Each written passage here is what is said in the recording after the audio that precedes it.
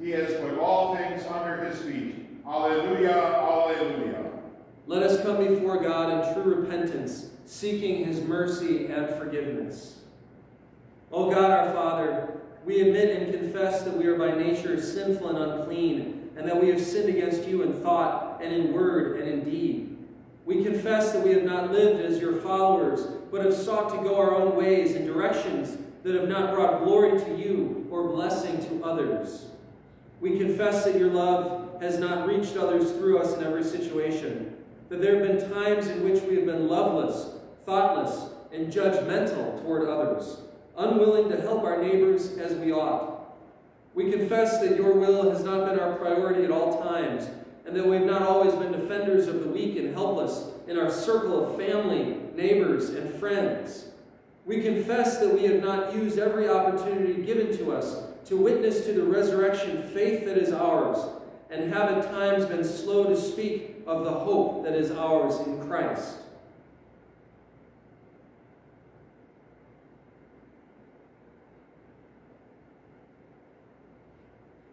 Let it be done for you as you believe.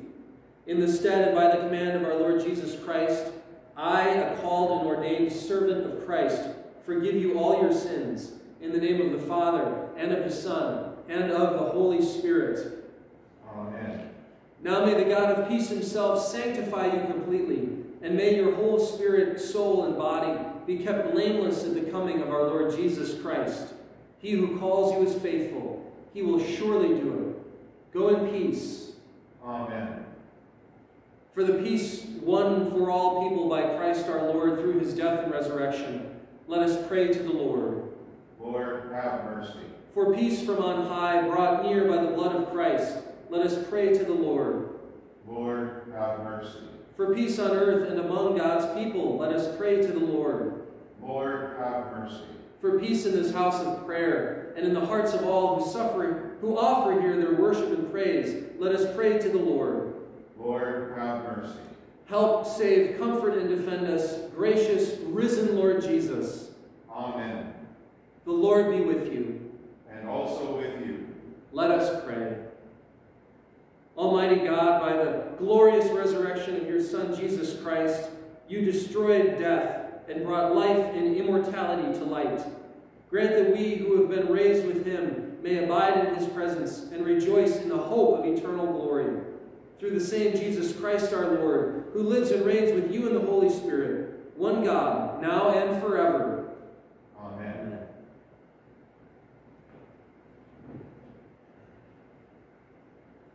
The first reading for this Easter Sunday is from the book of Acts, chapter 10. Then Peter began to speak. I now realize how true it is that God does not show favoritism, but accepts men from every nation who fear him and do what is right. You know the message God sent to the people of Israel, telling the good news of peace through Christ Jesus, who is Lord of all. You know what has happened throughout Judea, beginning in Galilee after the baptism that John preached, how God anointed Jesus of Nazareth with the Holy Spirit and power and how he went around doing good and healing all who were under the power of the devil, because God was with him. We are witnesses of everything he did in the country of the Jews and in Jerusalem. They killed him by hanging him on a tree, but God raised him from the dead on the third day and caused him to be seen. He was not seen by all the people, but by witnesses whom God had already chosen, by us who ate and drank with him after he rose from the dead. He commanded us to preach to the people and to testify that he is the one whom God appointed as judge of the living and the dead. All the prophets testify about him that everyone who believes in him receives forgiveness of sins through his name. This is the word of the Lord. Thanks be to God. Alleluia. Christ Jesus abolished death and brought life and immortality to light through the gospel. Alleluia. The Old Testament reading is from Jeremiah chapter 31. At that time, declares the Lord, I will be the God of all the clans of Israel, and they will be my people. This is what the Lord says. The people who survive the sword will find favor in the desert. I will come to give rest to Israel. The Lord appeared to us in the past, saying, I have loved you with an everlasting love. I have drawn you with loving kindness. I will build you up again, and you will be rebuilt, O Virgin Israel. Again, you will take up your tambourines and go out to dance with the joyful. Again, you will plant vineyards on the hills of Samaria. The farmers will plant them and enjoy their fruit. There will be a day when watchmen cry out on the hills of Ephraim, Come, let us go up to Zion, to the Lord our God. This is the word of the Lord. Thanks be to God. The psalm of this Easter festival is Psalm 16. Preserve me, O God, for in you I take refuge. I say to the Lord, You are my Lord. I have no good apart from you. As for the saints in the land, they are the excellent ones, in whom is all my delight. The sorrows of those who run after another God shall multiply. Their drink offerings of blood I will not pour out, or take their names on my lips. The Lord is my chosen portion and my cup. You hold my lot.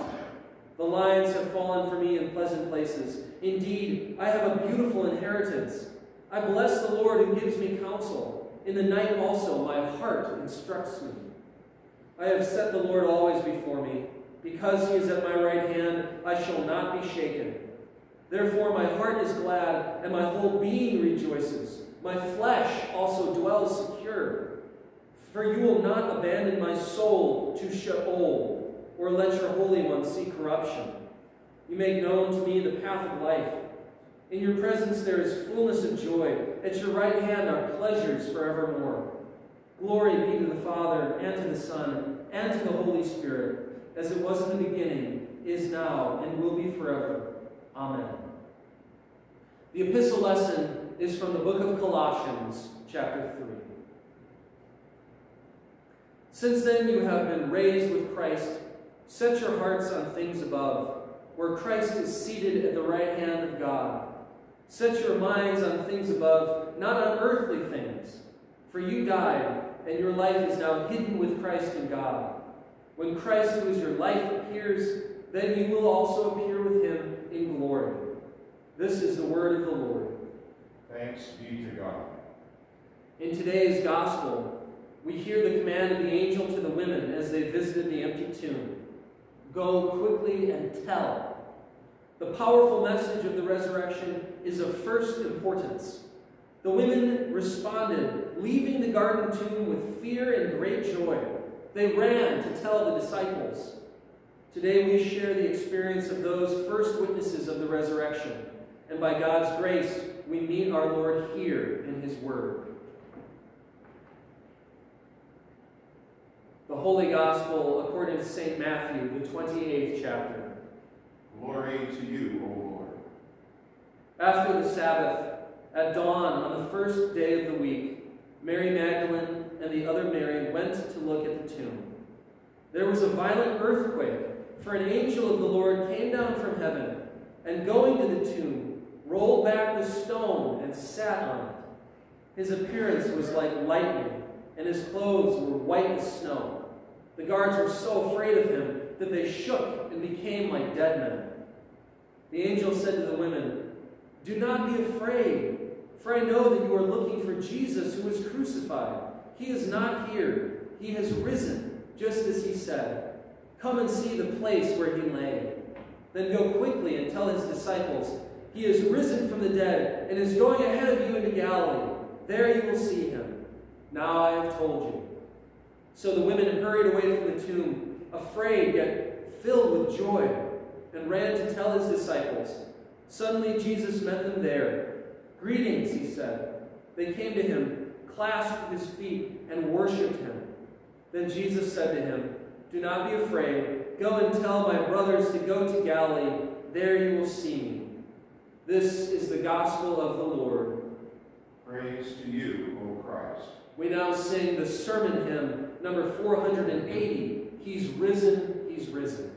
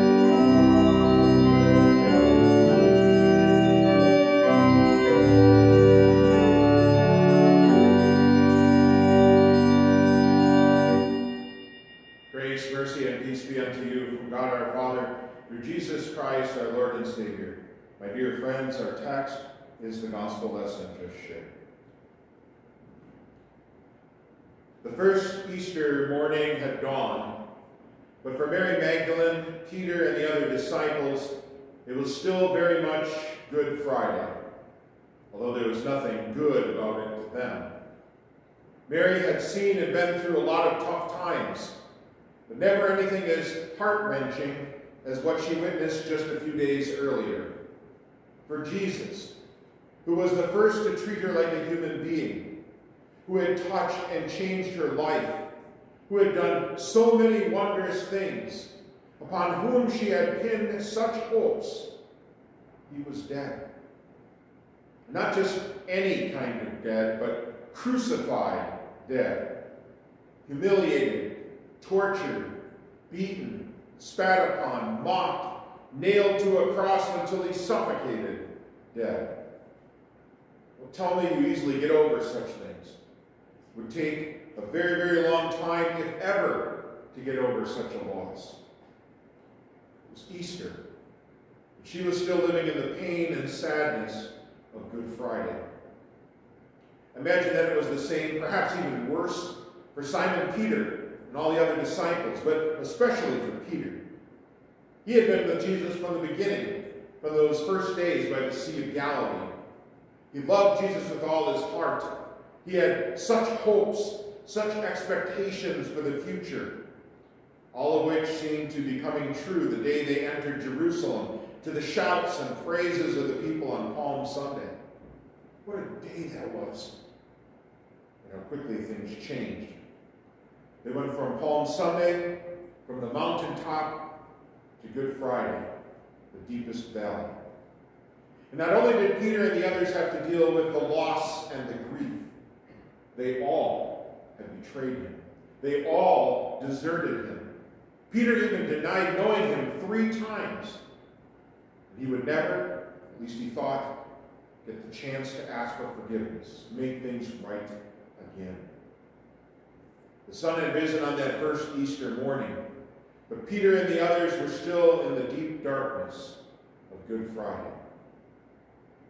Today is Easter Sunday. It's 2,000 years later. And I cannot help but feel that for many people, perhaps most of you right now, it's still Good Friday. We live in a Good Friday world. As if things weren't bad enough before, with children killing their classmates, parents abusing their children, terrorists bombing and killing innocent people.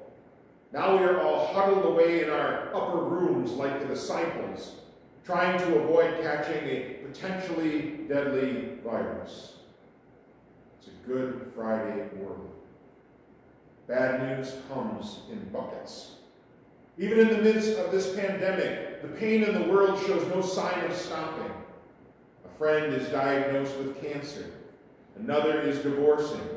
And yet another grieves over the loss of a loved one and the inability to even say farewell at a funeral due to social distancing. Good Friday world. Hopelessness is the theme of the day. People are forcibly quarantined at home. Jobs are being lost left and right. Students are relegated to online studies, which may get the job done, but in isolation, without the peer contact and interaction with their teacher. The elderly who already battle loneliness are cut off from, the mo from most contact from friends and loved ones. And there doesn't really seem to be any end in sight. No, we don't have to look too far to see Good Friday in our lives. Like Mary, we find ourselves grieving over profound loss, or like the other women with Mary at the tomb, afraid, trembling, or like Peter, guilty, hurting because of a broken relationship. It's another Easter Sunday and a Good Friday world. But let me point out something to you, my Good Friday friends. I believe that we cannot even begin to understand or experience Easter unless we've been through Good Friday. Unless we've been where Mary was, our heart broken, our eyes blurred with tears, our spirits crushed by grief. We cannot get to Easter Sunday without going through Good Friday. Her name was Teresa. She was the daughter of a well-known professor at a Christian college. Everyone thought she was a, a wonderful person, a, a, gifted artist. She'd just gotten married. Her, her whole life was ahead of her. But she grew very ill, and not soon after, died. For that professor and his family, it was Good Friday for a long time. But his remarks to a friend after her funeral are profound. He said, Unless you stare death eye to eye, Easter is just a word, a nice day with bunny rabbits and eggs. But when someone so precious to you dies, Easter becomes everything an anchor in a fierce storm, a rock on which to stand, a hope that raises you above despair and keeps you going. To the middle of our Good Friday world, Easter punches through with its brilliant light. Mary Magdalene and the other Mary walked sorrowfully to the place where they had last seen their Lord, a tomb in a garden not far from the shadow of the cross upon which he'd given his life. They were going there to anoint his lifeless body with spices and wrap it properly as there had not been time on Friday. They probably were tears that made seeing the path in the early morning light somewhat difficult. But they were determined to provide this one last act of love for their Lord. They arrive at the tomb and look in to find not the Lord's body, but an angel, blazing in light and with clothes as white as snow. They must have shook in fear and worry. But the angel announces, Don't be afraid. Jesus is not here. He's risen, just as he said. And the angel invites them to see that indeed the body is gone.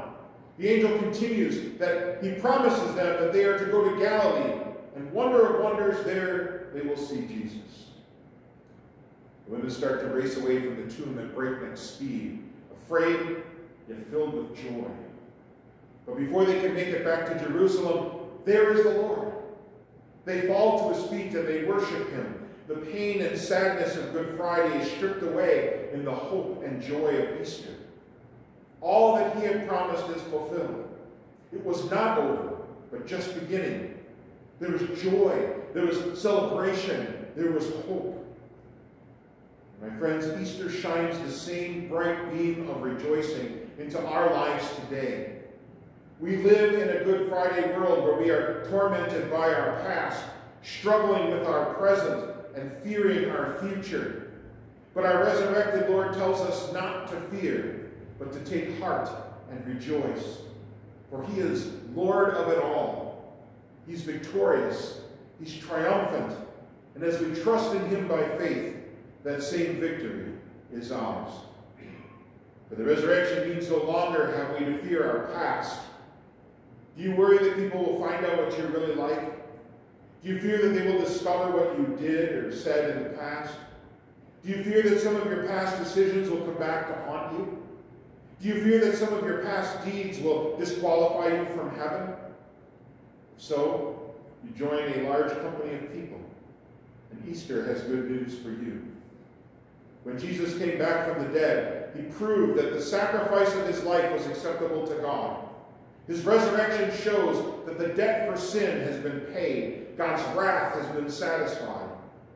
We are assured that everyone who believes in him receives forgiveness of sins through his name. And as Isaiah reminds us, though your sins be as scarlet, they shall be as white as snow. Though they be red like crimson, they shall be as wool. Sure, our past may embarrass us, but our past is dealt with. It's erased in the blood of Christ. As we confess our sins, he is faithful and just and forgives us all our sins and cleanses us of all our iniquities. We are forgiven, and we know it's true because of the resurrection. What news of joy! We can also face our present with new confidence. The road we travel is often bumpy, we know we lack the power to walk faithfully, and often we think that the task seems overwhelming. We're not going to make it. There seems to be so much darkness, so much uncertainty, so much fear. But we do not face tomorrow unaccompanied. We do not walk in our own strength alone. If we trust in the one who has risen from the grave, we can be assured that Jesus walks with us through every step of our life the Lord promises that nothing will separate us from his love. He also promises that in all things he is at work in our lives for the good. These are promises that can calm the most anxious heart. When we face the fearful times of the present, and we look at the Lord, we realize that he has promised to give us the strength and resources to get through whatever comes. The resurrection is proof that he keeps his promises and all that he says is true. We can bank on it. Finally, there is no fear for our future. The greatest threat we face in life is the threat of death, especially in this time of pandemic. The fear of death controls our life much more than we realize, although in this present time we become so much more aware of its impact on our day-to-day -day decisions. This fear can dictate what we eat, what activities we engage in, where we live, how many times we wash our hands, how close we are to the person in front of us, and on and on. The fear of death makes us fearfully attentive to every ache and pain in our body, every cough, every little thing that seems different from normal. The resurrection of Jesus takes the teeth out of death. Good Friday must give way to Easter. For Easter shows us that there is life beyond the grave. Death is no longer a giant, it's a mere blip on the screen of eternity. Jesus' return from the grave allows us to face death with new confidence. We understand now that for the child of God, death is a transition point and nothing more. There are Good Fridays, always will be. Easter doesn't mean that we won't be hurt, that life will be easy, that bad things won't happen. Because we have Easter, because we have a Savior, we can live our lives not in quiet desperation and anguish, but with the confidence that our living Lord holds our past, present, and future in his hands. And that brings hope and joy to our hearts. Good Friday, with its death and sorrow, gives way to the new life of Easter. One of my favorite stories is about a boy named Jeremy. Jeremy was born with a twisted body, a slow mind, and a chronic terminal illness that had been slowly killing him all his young life. Still, his parents had tried to give him as normal a life as possible and had sent him to a Christian elementary school. At age 12, Jeremy was only in second grade, seeming unable to learn. His teacher, Miss Miller, often became exasperated with him. He would squirm in his seat and drool and make grunting noises. She tried hard to ignore Jeremy's noises and his blank stares. Spring had come, and the children talked excitedly about the coming of Easter. And Miss Miller told them the story of Jesus. And then to emphasize the idea of new life springing forth, she gave each of the children a large plastic egg. Now she said, I want you to take this home and bring it back tomorrow with something inside that shows new life. The next morning, 19 children came to school, laughing and talking as they placed their eggs in a large wicker basket on Miss Miller's desk. After they completed their math lesson, it was time to open the eggs. In the first egg, the student had placed a flower. Oh, yes, a flower is certainly a sign of new life, she said. The next egg contained a plastic butterfly, which looked very real.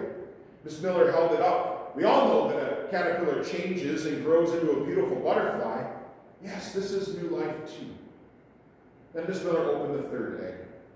She gasped. The egg was empty. Surely it had to be Jeremy's. Of course, he hadn't understood the instructions. When she didn't want to embarrass him, so she quietly set the egg aside and reached for another. And suddenly Jeremy spoke up. Miss Miller, aren't you going to talk about my egg? Flustered, Miss Miller said, But Jeremy, your egg is empty. And he looked into her eyes and said softly, Yes, but Jesus' tomb was empty too. Time stopped, and when she could speak again, Miss Miller asked him, Do you know why the tomb was empty? Oh, yes, Jeremy explained. Jesus was killed and put in there, and then his father raised him up to new life. The recess bell rang, and all the children excitedly ran out to play, Miss Miller cried. Jeremy understood a lot about new life. Three months later, Jeremy died. Jeremy's classmates attended the funeral, and after the pastor spoke, the children began to come up and place something in a basket on his casket. When Jeremy was buried, there were 19 empty Easter eggs buried with him, a sign of new life. Jeremy, all the people we love, yes, even ourselves, must one day die. We've lived through hardships and troubles. We've known Good Friday. But the single greatest tale we can tell is the message the angel told Mary, which she later told the disciples, who later told thousands, who have passed it on from generation to generation, and which we now hear again today. He is not here. He is risen, just as he said. And that message is the hope and joy for our world and for us today and every day.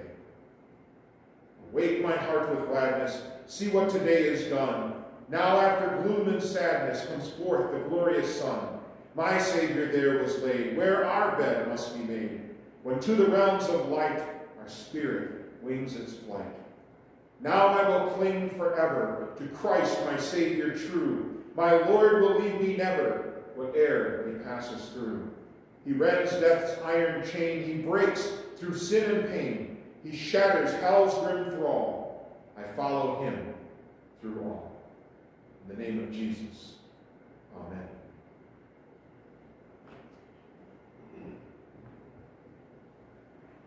Living in this trust and hope, we confess our faith.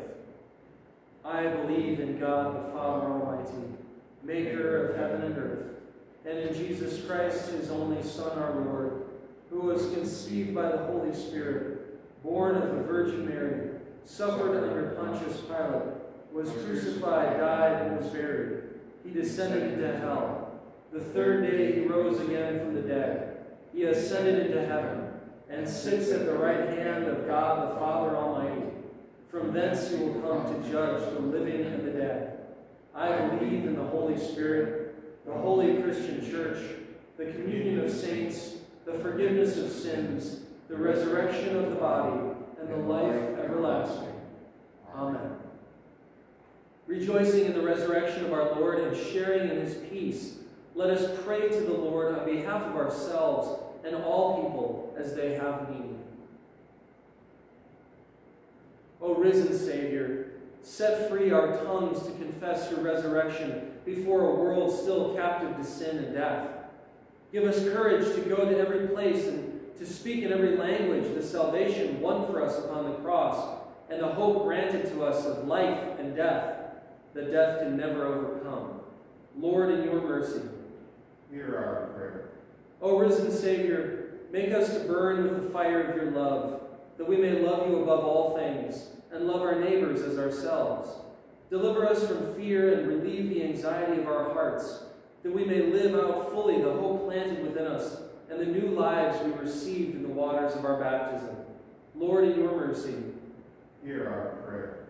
O risen Savior, anoint the words of those who preach to us your gospel, and open our ears to hear with faith all that has been done to save us. Raise up many who will serve you in the various callings of your church, and who will serve us in your name with your word and gifts. Lord, in your mercy. Hear our prayer. O risen Savior, hear us on behalf of Donald, our president, Tim, our governor, the Congress of these United States, and all state and local elected officials.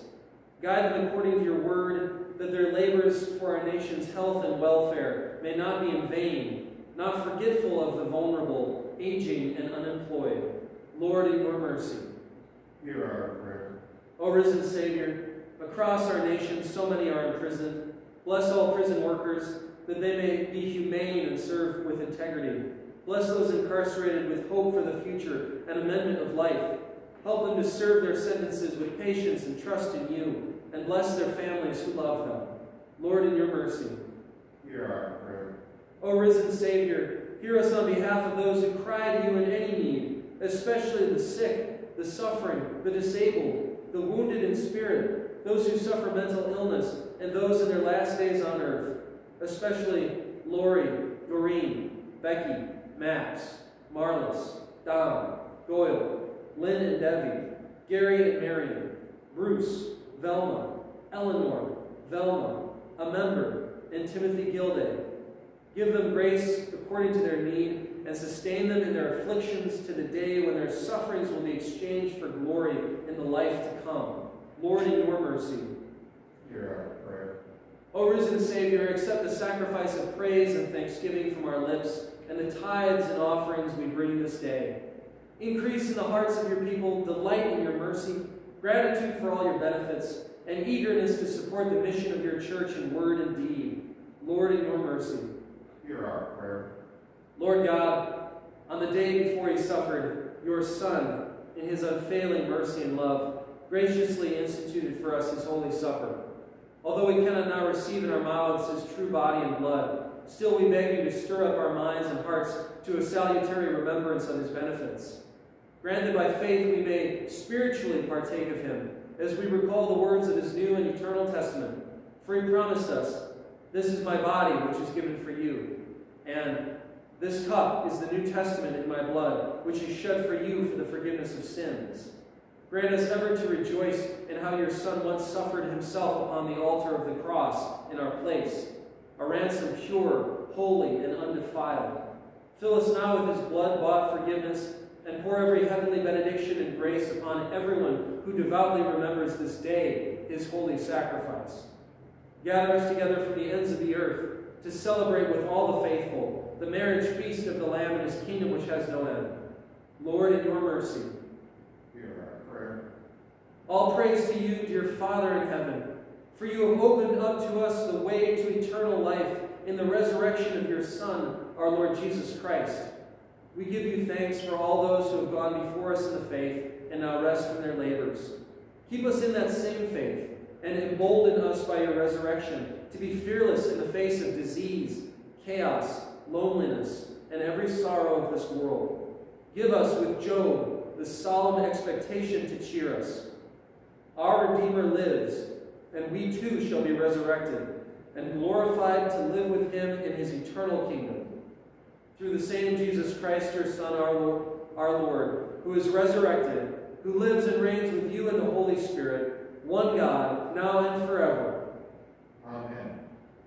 Lord, remember us in your kingdom and teach us to pray. Our Father, who art in heaven, hallowed be thy name. Thy kingdom come, thy will be done, on earth as it is in heaven. Give us this day our daily bread, and forgive us our trespasses, as we forgive those who trespass against us. And lead us not into temptation, but deliver us from evil. For thine is the kingdom, and the power, and the glory, forever and ever. Amen. Let us bless the Lord. Thanks be to God. The Lord bless you and keep you. The Lord make his face shine on you and be gracious to you. The Lord look upon you with favor and give you peace. Amen. Amen. Alleluia. Christ is risen. He is risen indeed. Alleluia. Our closing hymn this Easter festival is number 463. Christ the Lord is risen today. Alleluia.